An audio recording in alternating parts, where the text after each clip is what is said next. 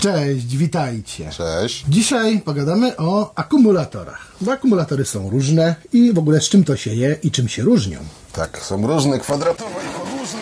Taki akumulator albo taki akumulator. Jeden do samochodu, jeden jak się domyślacie do telefonu, ale tak naprawdę mają pewne cechy wspólne i w postępowaniu z nimi obowiązują podobne niekiedy zasady. Generalnie akumulator i ten mały, i ten wielki trochę w odstawie. Yy, to jest urządzenie, które po prostu magazynuje prąd, yy, zamieniając na początku energię elektryczną w jakąś tam reakcję chemiczną, a potem w drugą stronę. Co tam się dokładnie dzieje, to szczerze mówiąc chemików by trzeba było zapytać. Natomiast no tak to działa działa, czyli po prostu wpuszczamy prąd w akumulator, tam się w środku coś dzieje, ten prąd w tym akumulatorze jest, a potem go możemy z tego akumulatora, tak powiem, wyciągnąć, tak? Oczywiście przez pewien czas, dopóki, tak, dopóki, dopóki on w nim jest. reakcje trwają i akumulator magazynuje prąd. I zdolności do magazynowania tego prądu w akumulatorze opisujemy różnymi parametrami. O co chodzi z tymi watogodzinami, amperogodzinami, czym to się różni? Y, to znaczy tak, jak y, może niektórzy pamiętają jeszcze z fizyki,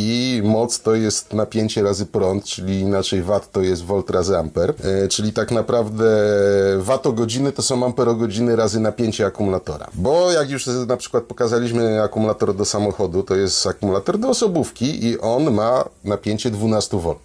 Ale na przykład ciężarówka ma, większość 24. ciężarówek ma 24, a na przykład motocykle niektóre mają 6 V.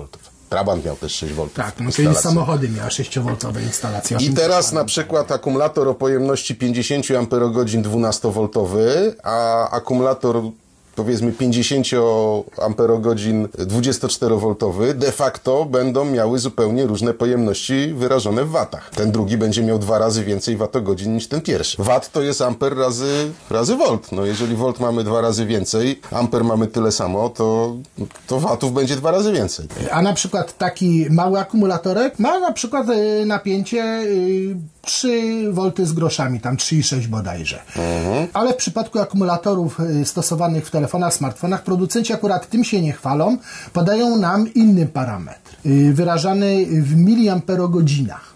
I co to w ogóle jest ta miliamperogodzina? Co to jest amperogodzina? Znaczy, amperogodzina to je, jedna amperogodzina oznacza, że przez jedną godzinę możemy wyciągnąć jeden amper z akumulatora. Po czym on się rozładuje? Czyli na przykład y, akumulator, który ma tak jak ten 50 amperogodzin, możemy z niego wyciągnąć albo 50 amperów przez godzinę, albo 1 amper przez 50 godzin. Tak mniej więcej, bo to tam się, to nie do końca tak jest, ale, ale to jest powiedzmy jakieś takie przybliżenie. Czyli jeżeli na przykład widzimy, że załóżmy y, na akumulator naszego smartfona ma pojemność 5000 tysięcy miliamperogodzin, no to odrzucamy mili i mamy... I dzielimy przez tysiąc, tak, no bo mili, tak jak milimetr to jest jedna tysięczna metra, tak miliampera, miliamper to jest jedna tysięczna ampera, czyli miliamperogodzina to jest jedna tysięczna amperogodziny. Dlaczego tak dziwnie? Bo 5000 miliamperogodzin to jest, to, są, to jest 5 amperogodzin. No otóż kiedyś na przykład o ten akumulatorek ma 950 miliamperogodzin, Czyli przez długi, długi czas akumulatory w telefonach komórkowych miały zdecydowanie poniżej amperogodziny. Może nie zdecydowanie, ale poniżej, poniżej. amperogodziny. No tak, bo były 700 na przykład. 700 nam. się zdarzały nawet. A jak powyżej, to to było 1200, 1500 miliamperogodzin. I wygodniej było podawać to po prostu liczbą całkowitą niż jakiś taki dziwny ułamek. A poza no i tak tym. już no... po prostu zostało. I tak już Baterie zostało. urosły, te obecne smartfony mają dużo większe zapotrzebowanie na energię, no, a jednostka pozostała. Stąd cały czas jedziemy tymi miliamperogodzinami. Możliwe, że jak przekroczymy 10 tysięcy, to chociaż też nie, bo na razie zdarzają się już telefony, które miewają powyżej 10 tysięcy miliamperogodzin i dalej się producenci trzymają, bo też jest tak nam łatwiej konsumentom porównać. Gdyby obcięli znowu te zera, no nastąpiłby pewien zamęt i ci, którzy są mniej obeznani z technologią, no mogliby się pogubić i no, powstałoby zamieszanie też y, chociażby nawet w katalogowaniu telefonu. Zamęt to i tak już jest, bo y, tak jak powiedzieliśmy, to y, Same amperogodziny niewiele nam mówią, czy same ampery nam niewiele mówią, jeżeli nie znamy napięcia. Tak naprawdę użytkownika powinny interesować watogodziny, które są w danym akumulatorze, a amperogodziny mniej. Ale, i teraz wrócimy znowu do akumulatorów samochodowych. To, to ma 60 amperogodzin. W wypadku samochodowych, znaczy ogólnie kwasowych, kwasowo-ołowiowych akumulatorów, czyli akurat takich, które są w samochodach, obowiązywała taka bardzo prosta zasada, że ładujemy te akumulatory tak zwanym prądem 10-godzinnym. Czyli takim, żeby akumulator naładować od zera do pełna w ciągu 10 godzin, czyli inaczej 1 dziesiąta pojemności, czyli 60 amperogodzin powinniśmy ładować 6 amperami. I Kiedyś ładowarki do akumulatorów, one miały takie guziczki, gdzie się ustalało. Albo potencjometr. Albo potencjometr. I dlatego amperogodziny były po prostu wygodniejsze dla użytkownika niż watogodziny. No bo teraz watogodziny to on by sobie musiał przeliczyć, czy ten akumulator ma 12, czy 24, mm. wymyślić, pomyśleć. A tak to akumulator ma 100 amperogodzin i nieważne, czy on ma 24 czy 12 V, ustawiamy go na 10 amper, ładujemy, cześć, koniec, tak? Czyli już wiadomo, dlaczego y, operujemy amperogodzinami lub pochodnymi, czyli w przypadku telefonów miliamperogodzinami. No tak, popatrz, tyle czasu minęło, a to się nadal trzyma. To jest przykład, że technologia się może zmieniać, a zwyczaje dużo wolniej. Ale zauważ, że w wypadku ładowarek już nie podajemy ładowania w amperach, tylko podajemy moc w watach. I tu dochodzimy do kolejnego parametru y, istotnego obecnie przy wyborze smartfona, czyli mocy jego ładowania, tudzież ładowarki, jaka jest dodawana do zestawu. No bo musicie pamiętać, że czasem jest tak, że smartfon powiedzmy można ładować szybko z mocą, dajmy na to 60 watów, a w zestawie jest, o ile w ogóle jest, dzięki Bogu ładowarka, to jest jest na przykład dodawana 30-watowa ładowarka, bo tak na przykład jest taniej. No tak, ale może jeszcze wrócimy, dlaczego tutaj, że tak powiem, podajemy w watach, no a wcześniej się zmierzam. trzymaliśmy jak pijany płotu tych amperogodzin. Otóż w wypadku ładowania już się dalej tego trzymać nie dało. Dlaczego? Dlatego, że ładowarki mają różne napięcia. Zwykła ładowarka na tak zwane stare USB, czyli nie C, miała napięcie 5 V. Tak, te takie do powiedzmy tych starszych smartfonów są 5 5V. A specyfikacja USB-C podaje, że do 20 V e, może być. Może być też 5 V i też będzie się mieściło w specyfikacji. Tak, bo tu trzeba też pamiętać, że nowoczesne smartfony i nowoczesne ładowarki zmieniają napięcie ładowania zależnie od stopnia napełnienia akumulatora w telefonie. I on się zmienia. Na początku jest y, większy, później w trakcie napełniania już on się zmniejsza. Dlatego też na przykład najszybciej ładujemy telefon do połowy od zera, a później ten proces ładowania spowalnia, spowalnia, spowalnia i stąd właśnie często producenci y, w materiałach marketingowych chwalą się czasem naładowania do połowy, czy tam do 70%. No bo właśnie wtedy on przebiega najszybciej. E, tak, ale jeszcze, jeszcze cały czas do tych watów. No, w momencie, kiedy mamy ładowarki, y, które mają różne napięcia, bo przecież możemy podłączyć ładowarkę normalną USB, założyć kabelek USB-C i ładować telefon on się będzie ładował 5 voltami. Mhm. A jaki tam prąd będzie, no to już tam zależy, jaki sobie tam elektronika po jednej i drugiej stronie reguły, wymyśli. Z reguły też te ładowarki amperaż też miały słabszy, więc one są eee... powiedzmy tam 15, 25 W najwięcej. Znaczy wiesz, no przede wszystkim słuchaj, no żeby przesłać duży prąd w amperach, to potrzebny jest gruby kabel. To zresztą z tego powodu im, im, większe, im większe coś, tym większym napięciem to zasilamy, żeby po prostu nie robić absurdalnie grubych kabli. Ale teraz tak, jeżeli mamy ładowarki, które mogą mieć albo 5, albo 20 V napięcia, to w tym momencie podawanie prądu jest zupełnie bez sensu, bo to nam nic no. nie mówi.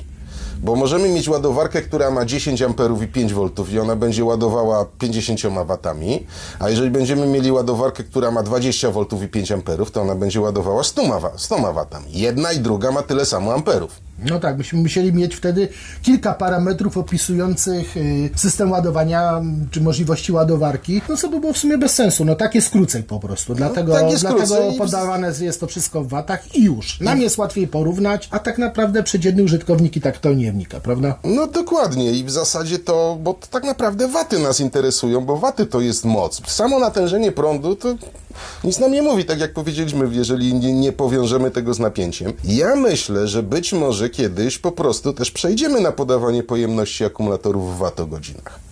No na przykład, kiedy, kiedy powszechnie się staną e, różne możliwe napięcia, czyli po prostu, że jeden telefon będzie chodził na takim napięciu, a drugi na takim, a trzeci na jeszcze innym. I w tym momencie też, tak jak przy ładowarkach, porównanie amperogodzin baterii będzie bez sensu po prostu. I tu być może po prostu rzeczywistość wymusi odejście od tych amperogodzin, no ale póki co jest tak, jak jest, tak? Czyli mamy pojemność baterii w amperogodzinach, a moc ładowania w watach, no i musimy z tym żyć po prostu. No i teraz oczywiście za zapanowała moda na szybkie ładowanie. W tej chwili 50W ładowarka już kompletnie na nikim nie robi wrażenia. W lepszych smartfonach, no te 67 to już po prostu jest must have. Producenci już y, zwolna zaczynają nam serwować ładowarki 120W, no i już mamy pierwszą rodzynkę w postaci Vivo, które proponuje już 200W ładowarkę. O. No i oczywiście pojawiają się pewne obawy związane z tym, czy to nie wpłynie na żywotność akumulatora i czy ta bateria na przykład nie będzie się przesadnie przegrzewać, czy nie zaszkodzimy smartfonowi ładując go zbyt często szybką ładowarką, czy może po prostu nie ma się czym przejmować i należy zacząć z tego korzystać jak ze wszystkich innych dobrodziejstw, y, którymi nas raczą producenci. Znaczy tu mamy dwie rzeczy tak naprawdę. Po pierwsze to w sumie czas pokaże, tak? Bo, bo czas weryfikuje różne, mhm. różne obietnice producenta. A druga rzecz to jest taka, że baterie litowo-jonowe, czyli te, które w tej chwili są montowane w smartfonach, są tak naprawdę dosyć wrażliwe, bo one na przykład nie lubią głębokiego rozładowania. One nie lubią y, ładowania do pełna. One dużo rzeczy nie lubią. Na szczęście nie musimy się tym martwić, ponieważ dba o to y, sama automatyka ładowania, która na przykład nie pozwoli przeładować takiej baterii, Dokładnie. a w momencie, kiedy bateria tak naprawdę ma, spada jej poziom poniżej iluś, to, to nam, telefon to, się wyłącza. To nam telefon się wyłącza i to nie znaczy, że nie ma prądu w tej baterii, Tylko bo jeszcze, jeszcze by było. mało tylko że po prostu korzystanie z tego prądu by drastycznie obniżyło, obniżyło żywotność baterii. Podobno najlepiej jest jakby utrzymywać baterię litowo-jonową w okolicach 50% naładowania. Tak, yy, dokładnie tak, jak mówisz. Tutaj możemy tak, taką bezpieczną granicę ustalić 50 do 75% i tak starajmy się trzymać ten akumulator i w zasadzie jedyne co my możemy zrobić, bo my oczywiście też nadal mamy wpływ na żywotność yy, akumulatorów w naszych telefonach, to właśnie nazwijmy to krótko nie stresować tego akumulatora. Czyli nie musimy tak jak kiedyś postępowaliśmy z bateriami na przykład wodorkowymi, gdzie trzeba było, gdzie występował efekt pamięci, gdzie trzeba ją było i w miarę możliwości jak najczęściej rozładować tak, żeby telefon się wyłączył. Pamiętam czasy, kiedy mając nowy telefon katowałem baterię do tego stopnia, że włączałem telefon znowu, kiedy się sam wyłączył i znów czekałem aż się wyłączy i dopiero go ładowałem i oczywiście bardzo długo go ładowałem i tak dalej. Ale teraz nie musimy tego robić. Teraz po prostu jak widzimy... Mało tego, nie powinniśmy tego robić. Dokładnie. Teraz no jak widzimy widzimy, że bateria spada, akurat mamy chwilkę czasu, no to cyk telefon pod ładowarkę. Nawet nie musimy czekać, aż się pokaże 100% na wyświetlaczu, tylko 80, dobra, jesteśmy zadowoleni. I według mnie należy y, po prostu traktować baterię y, tak, żeby nam było wygodnie i nie dopuszczać po prostu do całkowitego jej rozładowania. No i oczywiście nie narażać naszego telefonu na zbyt wysoką temperaturę, tak jak na przykład teraz latem. Raczej nie zostawiajmy go na słońcu, połóżmy go do cienia. To naprawdę nie zawadzi. Nie, nie powinniśmy też y, narażać telefonu na zbyt niską temperaturę, bo to też szkodzi akumulatorowi. I powiem Wam szczerze, od dłuższego czasu korzystam z wielu różnych smartfonów z szybkim ładowaniem. Niektóre oczywiście mam dłużej, niektóre krócej, ale generalnie opierając się na tych, których y, używam na co dzień osobiście, prywatnie i używam ich przez dłuższy czas. Prawdę mówiąc, ja nie zauważyłem żadnych ujemnych skutków ładowania, jak popadnie, nazwijmy to. Staram się po prostu doładowywać jak mi wygodnie. Kiedy mam wolną chwilę, odkładam telefon na przykład na tackę ładowania indukcyjnego albo podłączam kabelek w samochodzie i generalnie staram się utrzymywać właśnie tak w okolicach tych 70 paru do 80, 90, nawet jeżeli planuję jakiś dłuższy pobyt z dala od ładowarki, trzymać y, ten procent naładowania w tych właśnie okolicach i nie widzę, żeby moje telefony nagle po roku czy po półtora roku zaczynały trzymać krócej, to pewnie jakbyście zaczęli mierzyć, to wyszłoby tam w pomiarach takich bezwzględnych, w jakichś benchmarkach, że ta bateria troszeczkę osłabła, ale w codziennym użytkowaniu tego nie poczujecie. Także myślę, że nie przejmujcie się aż tak strasznie. A czy tak naprawdę to szybkie ładowanie szkodzi akumulatorom, to myślę, że jeszcze z rok półtora musimy poczekać, żeby coś konkretnego móc Wam na ten temat powiedzieć. No dobra, właśnie, to teraz tak. Yy, ty nie zauważyłeś, ale na przykład ja, jak yy, wiesz pewnie, to mój telefon to już trochę czasu ma. To znaczy, co prawda to jest drugi, ale poprzedni miałem chyba z 4 lata czy 5 mhm. i zauważyłem, że spadła mi wyraźnie żywotność. Mhm. Także to jest zauważalne. Czy szybkie ładowanie obniża y, żywotność baterii? Nie mam tutaj żadnych twardych dowodów, natomiast y, Według mnie obniża, tylko pytanie jest takie, czy nam to robi. To znaczy, czy obniża na tyle, że w, e, że tak powiem, spodziewanym czasie życia telefonu to odczujemy, bo ty nie odczułeś. No tak, ja nie odczułem, a tak naprawdę to wszystko zależy też trochę od tego, jak długo użytkujecie telefon i jak długo zamierzacie go użytkować, no bo wiadomo, w polskich warunkach ym, smartfon wymieniamy mniej więcej co dwa lata, a często on jeszcze dostaje potem drugie życie i ląduje ym, u rodziców, u dzieci albo jako rezerwowy w szufladzie, no i w tym ostatnim przypadku też doradzam co jakiś czas go wyjąć i podładować. Tak na wszelki wypadek. No, zdecydowanie baterie litowo-jonowe zostawione na przykład, ja kiedyś zostawiłem na, na działce telefon na zimę. Mhm, no i Zdech. Dokładnie. Zdech. Nawet jeżeli nie planujecie używać telefonu, to też zadbajcie o to, żeby ta bateria była naładowana i sprawdzajcie co jakiś czas, czy nie zdechła, bo wtedy właśnie może dojść do totalnego rozładowania tej baterii. Nawet jeżeli telefon leżał w szufladzie, to nas po roku, dwóch już może być martwa.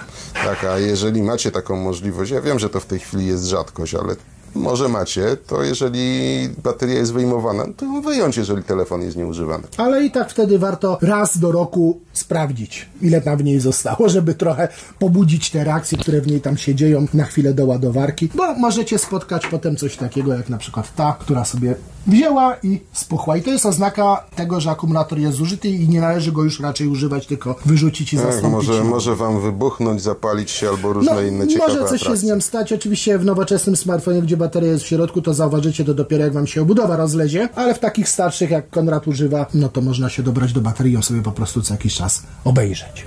A no, jak masz wymienną baterię, to w ogóle możesz kupić baterię nową i wymienić. To też jest taka... Tak, albo nawet nosić e, w torbie czy w kieszeni zapasową naładowane. Tak, powerbanku nie potrzebujesz, możesz mieć po Dokładnie. prostu drugą baterię. Mam nadzieję, że troszeczkę rozjaśniliśmy Wam, co która jednostka w opisie akumulatora oznacza i na którą zwracać uwagę. No i trochę też podpowiedzieliśmy Wam, jak dbać o baterię i jak ładować. Dzięki za oglądanie i do zobaczenia w kolejnym odcinku. Cześć. Cześć!